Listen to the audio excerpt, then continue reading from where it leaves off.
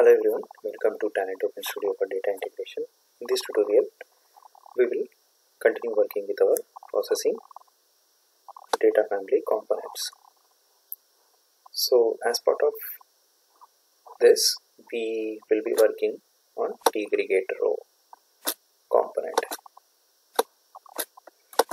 To understand uh, T-aggregate row better, basically T-aggregate row will perform a wide range of aggregations.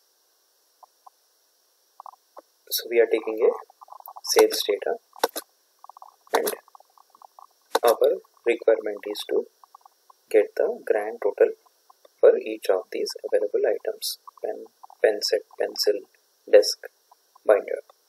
So let's go ahead and connect sales data to aggregate row and take the required columns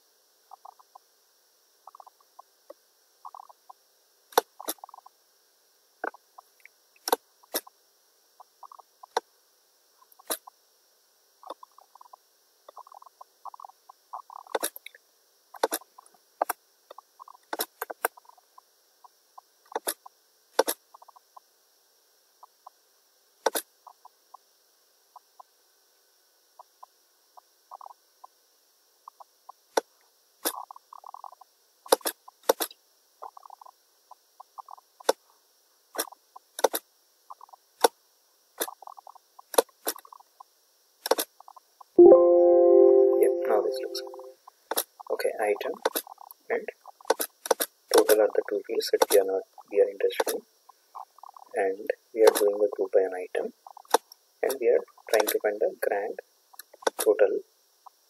So we need to do a sum to get the grand total, and then link it to the T log row, and then run this job and see what will be the output there you go so for pencil we have a grand total of 2045 let's go ahead and compare the result with the source data. So this is a pencil. Let's see the grand total. 2045.22 2045.22 so aggregate row E can be used to perform aggregate functions in Talend such as sum, count and few other advanced aggregate functions. Those are list and in this we have distinct count if we have duplicates in it we can use count distinct that will provide the distinct count and let's take a look at what list aggregate function will do. So for that we'll create a new job.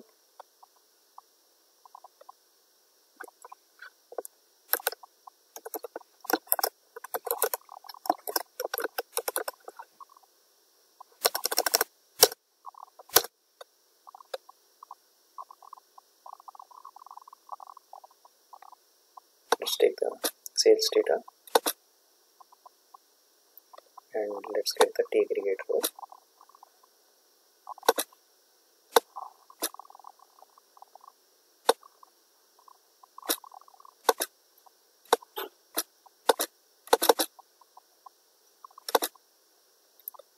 So let's take the example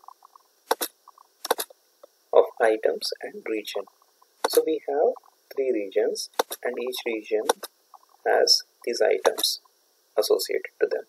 So let's identify the different items available for each region. So for that, let's go ahead and select region and then items. So we are doing group by on region and let's use the aggregate function list on item. So save the job, run the job.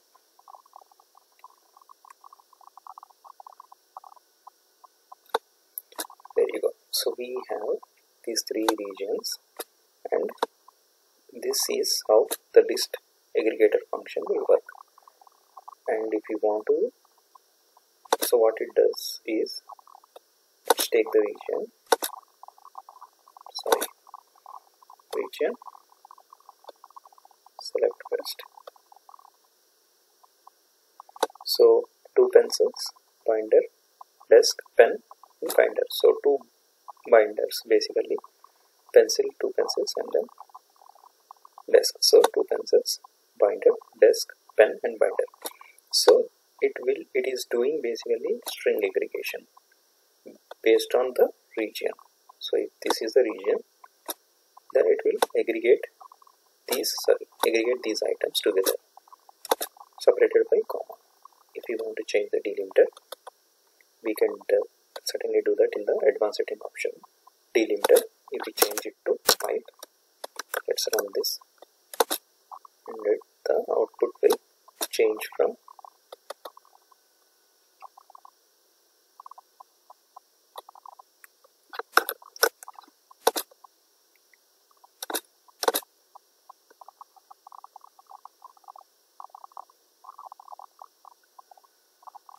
there you go the output has changed from comma to pipe and this is how the result looks like. So that is the functionality of list aggregator function.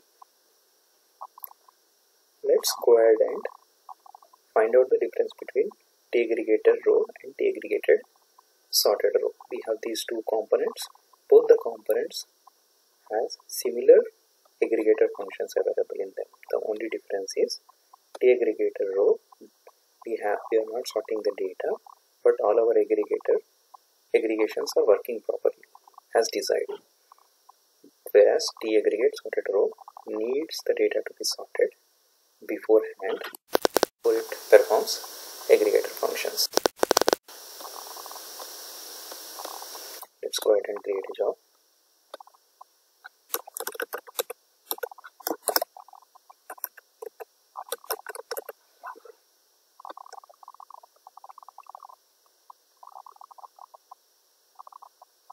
let's take the sales data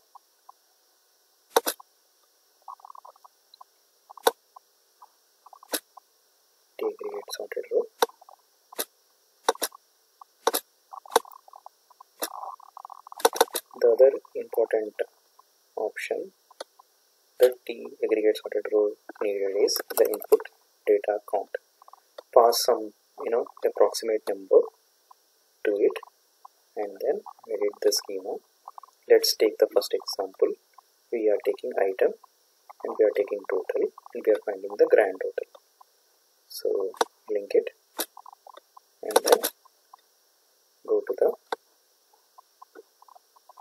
group by group by an item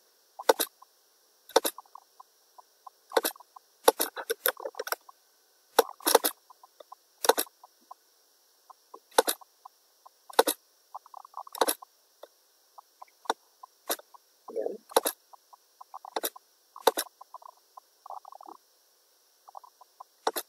total sum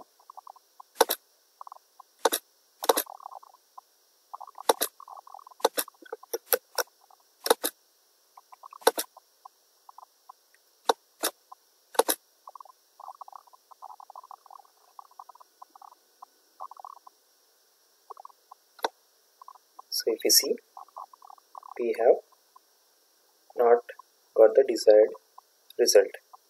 Because if, if you see the we have saw a group we did the group by an item but we see multiple same items repeated multiple times. So that means our t aggregate sorted row didn't work as expected. So the reason for that is we are not our data is not sorted in the source. file so we need to sort the data explicitly. Before we send the data to t aggregate sorted row. Let's get rid of these components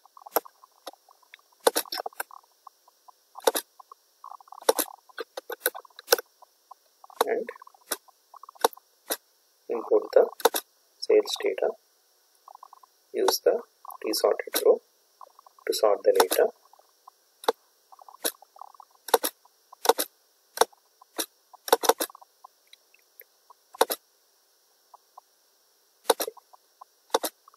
are sorting the data based on item.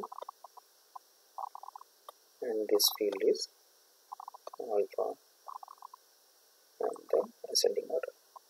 So we are sorting the data explicitly based on our item field.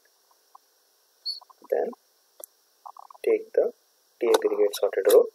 Now because the data is sorted we can perform the aggregate operation then go ahead and give a count. Then let's edit the schema take the required columns. We are interested in item and its grand total.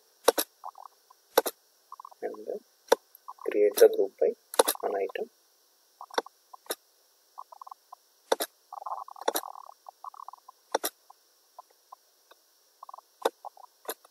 And then count on uh, sum on total. So let's take sum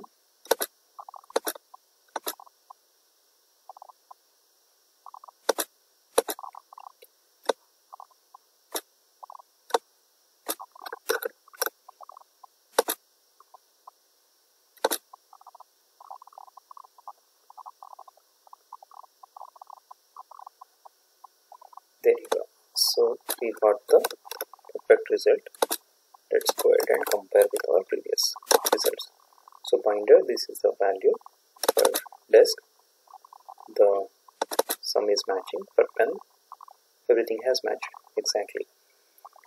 So that's the basic difference between t aggregate sorted row and t aggregate row. T aggregate sorted row always needs the data to be sorted beforehand. Rest all the aggregator functions are similar between these two components. There is no difference so that's pretty much it for this tutorial. You all have a wonderful day